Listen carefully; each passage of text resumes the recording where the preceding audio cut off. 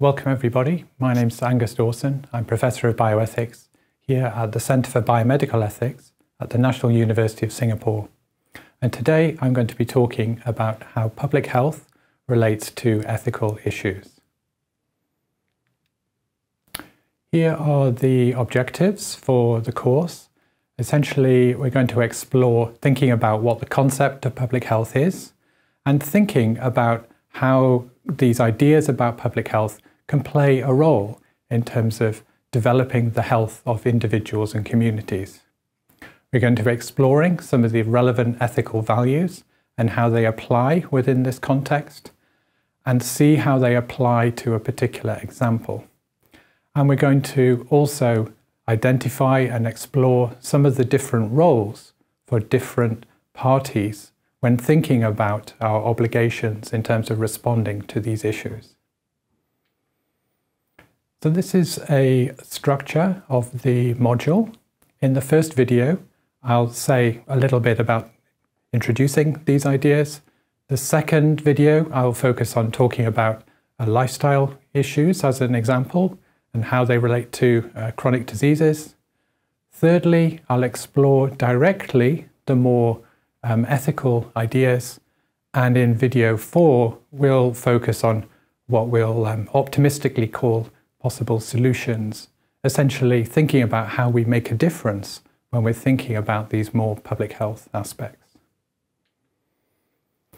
So to begin with the introduction, when we think about the kinds of activities within clinical care that you are perhaps most familiar with, there are several features that we can uh, commonly see as being uh, crucial. The first is thinking about responding to a patient. Very often a patient has a request, they have a problem that they want to be addressed, and they are coming in, receiving or wanting treatment for that condition. And because we're focused on individuals, it's no surprise to see that the traditional values that we see explored and used in discussions of these issues tend to be of a particular type. Things like autonomy and privacy, very important values that protect the interests of individuals.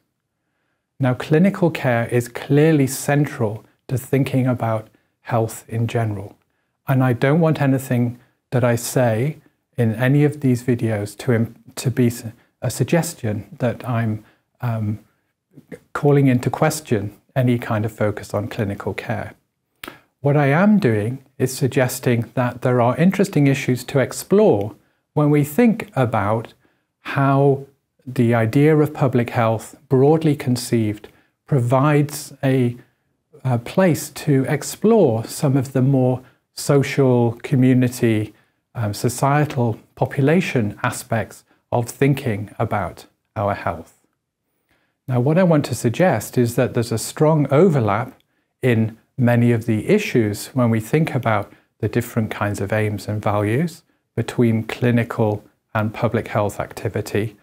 But I also want to suggest that there are some key, specific, distinct aims and values when we think about public health.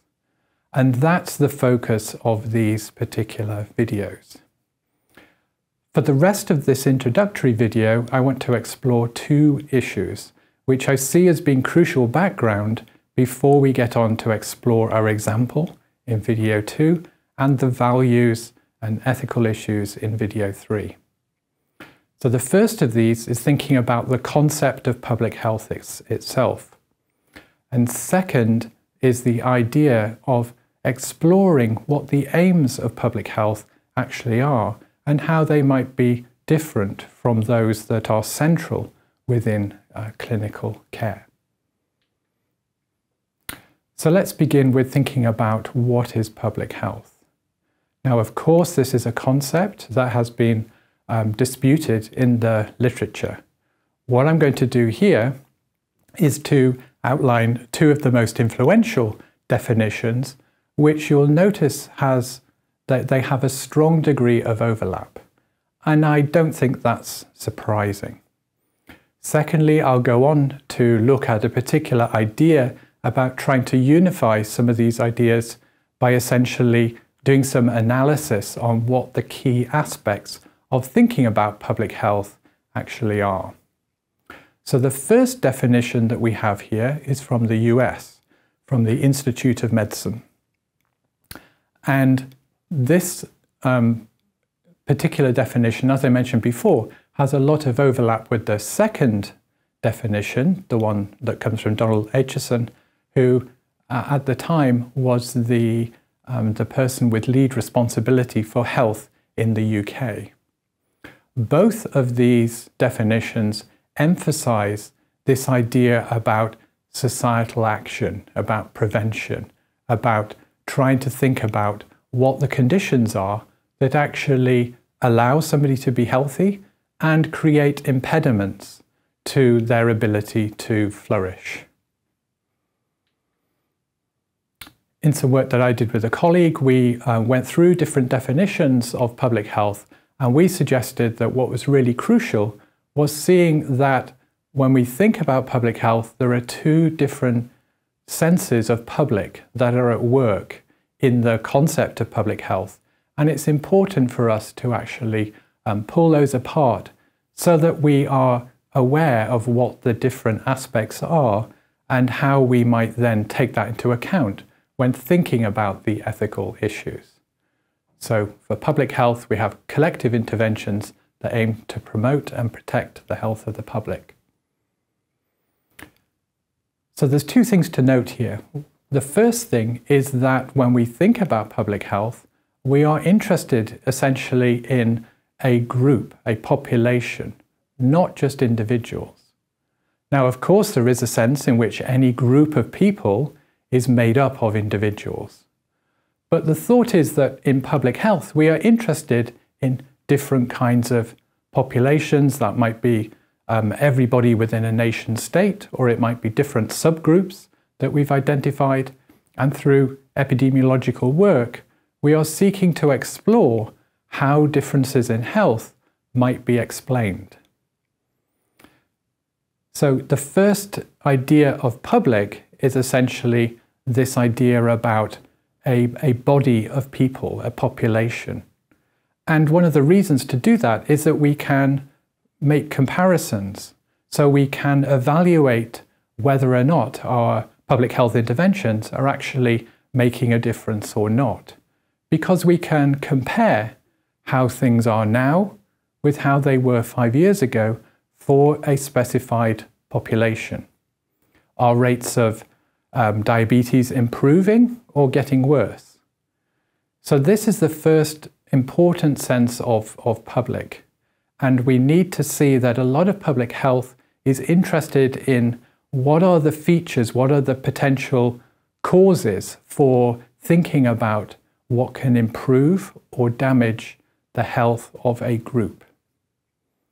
The second sense of public focuses more on the political side of things and suggests that often the kinds of activities that are going to make a difference to that first issue to do with public, the health of a group or a population, is that we require collective action.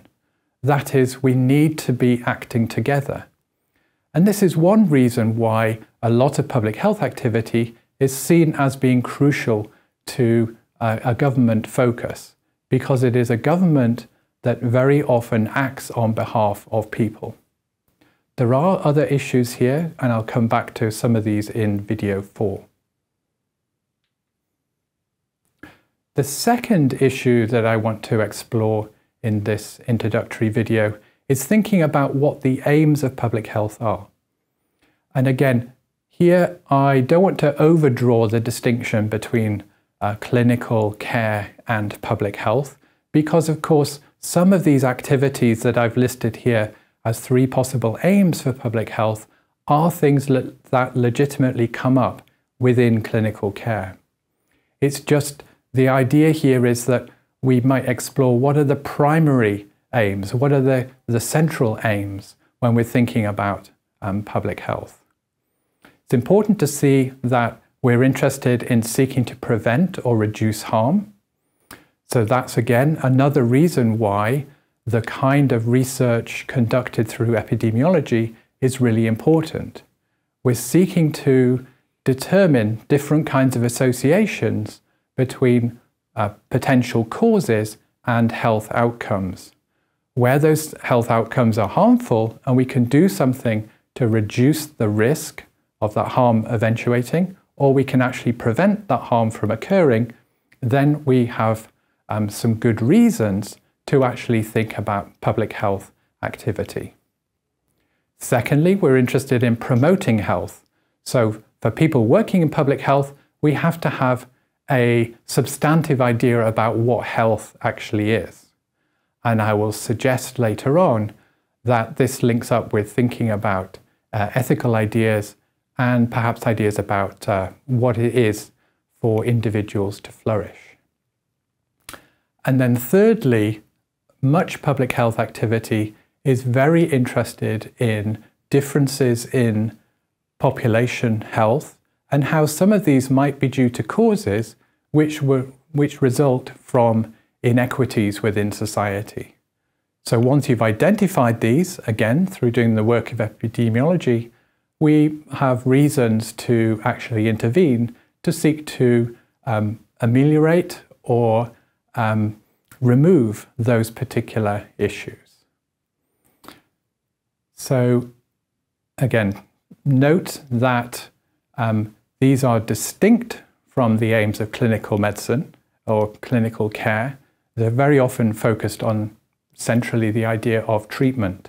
Again, go back to one of my early slides, this idea about a patient actually having a problem and coming in requesting help. Those, responding to those kinds of uh, issues and needs of a patient, I would argue, are distinct from those of public health. As I mentioned, there is some overlap here, and of course there will be opportunities within clinical care to, for example, promote that individual's health. But it's to do with what are the primary characteristics, the main sort of thrust of um, public health as an activity and how we can distinguish that from clinical care that is important here. And then secondly, note that all three of these suggested aims are heavily um, ethically orientated. So the first one focuses on ideas about harm and presumably the reason why we want to reduce or remove harms is because we see harm as being a negative thing. Secondly, promoting health, that's a way for individuals themselves to live healthier lives and to perhaps benefit from all the opportunities that there might be within society. And then the last aim here, one focused on uh, reducing inequities, is very much linked to the idea of justice.